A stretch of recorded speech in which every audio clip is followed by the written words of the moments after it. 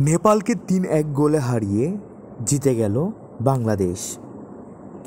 নেপালকে তিন এক গোলে হারিয়ে নারী সাফ চ্যাম্পিয়নশিপ শিরোপা জিতল বাংলাদেশ।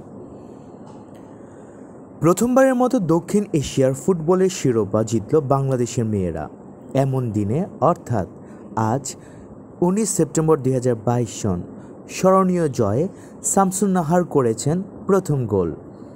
পরের দুটি কৃষ্ণা রানী সরকারের। দুই শূন্য হওয়ার পর নেপালের গোলটি করেন অনিতা বাসনেত। বাংলাদেশের মেয়েদের এমন জয়ে ফেসবুক গরম হয়ে গেছে। সবাই শুভেচ্ছা জানাচ্ছেন নারীদের।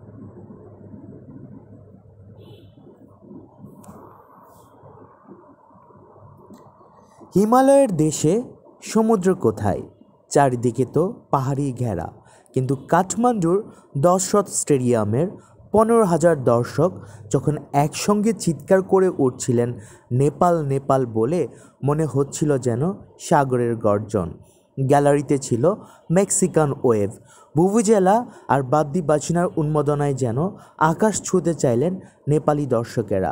নেপালের পতাকা হাতে নেপাল লেখা টি শার্ট পরে অনেকের ছবি তুললেন গ্যালারিতে। সবার হাতে ধরা মুঠোফোনের আলোয় যেন হাজারো জোনাকি জ্বলে উঠল স্টেডিয়ামে। কিন্তু নেপালিদের এমন উন্মাদনা পরিণত হলো শ্মশানের নীরবতায়, যেন ফুটো বেলুনের মতো চুপসে গেলেন দর্শকরা। আসলে হিমালয়ের চূড়ায় ওঠা এই বাংলাদেশকে থামানোর সাধ্য যে নেপালেরই ছিল না, মেয়েদের সাফ চ্যাম্পিয়নশিপের অদরা ট্রফিটা অবশেষে জিতল বাংলাদেশ।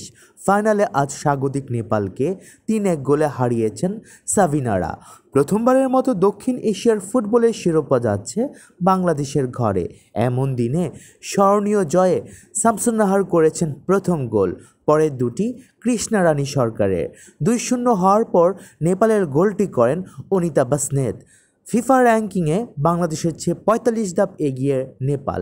বাংলাদেশের র্যাঙ্কিং একশো সাতচল্লিশ, নেপালের একশো দুই। অতীত পরিসংখ্যানও ছিল নেপালের পক্ষে।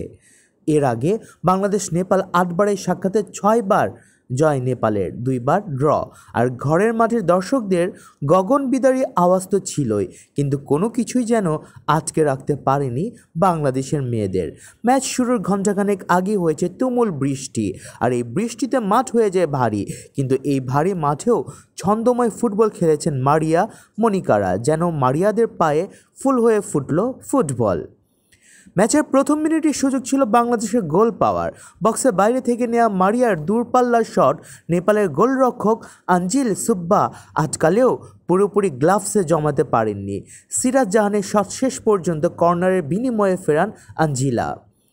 চোট নিয়ে আজ খেলতে নেমেছিলেন স্ট্রাইকার সিরাজ জাহান, কিন্তু মাঠে নেমে তিনি বেশিক্ষণ খেলতে পারেননি। ব্যথায় কাতর সিরাজকে তেরো মিনিটে কোচ গোলাম রাব্বানি তুলে নিতে বাধ্য হন। এরপর বদলি হিসেবে নামান শামসুন্দাহার জুনিয়রকে। কিন্তু কে জানতো, এই সুপার সাভি এগিয়ে নেবেন বাংলাদেশকে। শামসুন্নাহার নামতেই খেলার গতি বেড়েছে আরও